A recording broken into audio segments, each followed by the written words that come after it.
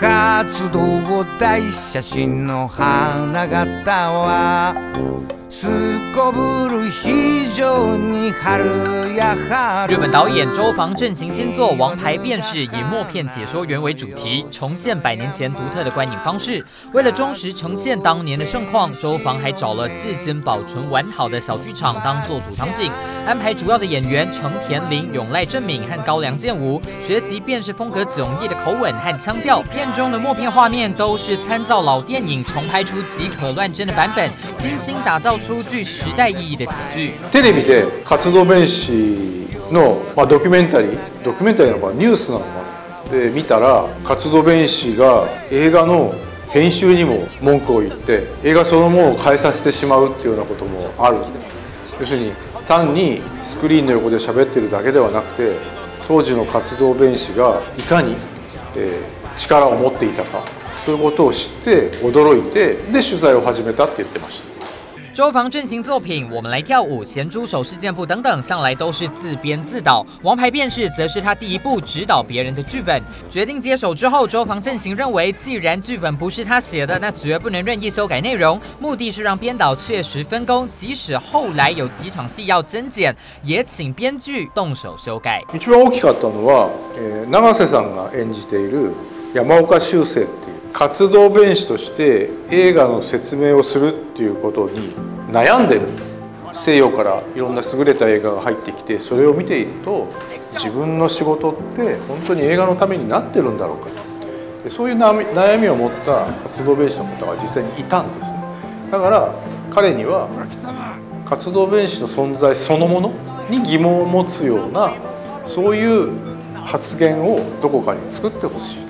王牌便是以默片风靡日本的大众时期为背景，为了原汁原味的重现默片全盛时期的光景，周防正行走遍了日本，终于在福岛找到了一个建于明治时代、至今保存完好的小剧场，成为片中民众看片场所青木馆。剧组另外设计打造一间放映室，其余外景戏则全部在东映的京都片场拍摄。发行公司东映积极参与制作，并且提供资金，之后陆续吸引了其他投资者的加入。所有资金在电影开拍前一刻顺利到位。今回描くのは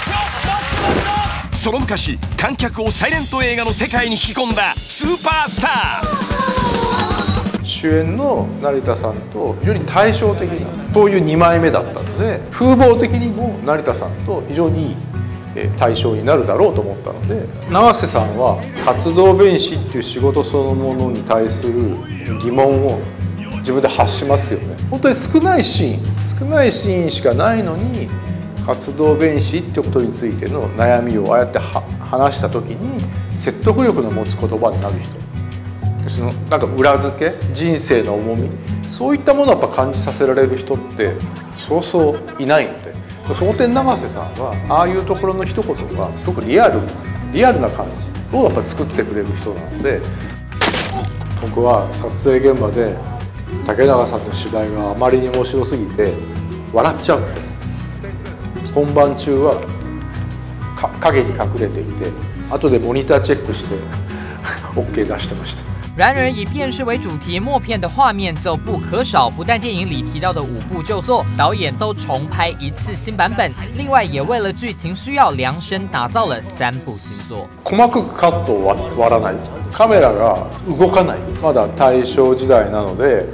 あの、まあ、移動撮影だったりクレーンだったりとかそういう技術がまだない時代だったので